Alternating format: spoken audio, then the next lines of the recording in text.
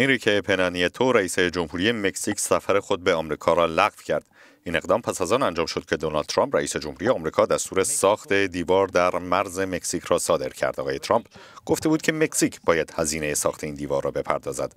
وی با ارسال توییتی تاکید کرد بود اگر مکزیک حاضر به پرداخت این هزینه نباشد بهتر است ملاقات دو رئیس جمهور لغو شود اعلام لغو سفر رئیس جمهوری مکزیک به آمریکا مورد استقبال بخشی از مردم این کشور قرار گرفته است. یکی از شهروندان مکزیک ضمن هوشمندانه خواندن تصمیم آقای نیتو مواضع رئیس جمهور آمریکا را توهین‌آمیز می‌داند.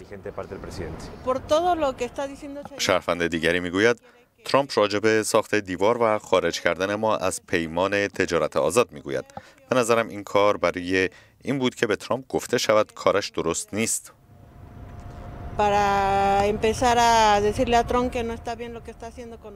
سخنگوی رئیس جمهوری آمریکا پیشتر بدون ارائه جزئیات گفته بود که برای تامین هزینه ساخت دیوار 20 درصد مالیات بر کالاهای وارداتی از مکزیک وضع خواهد شد.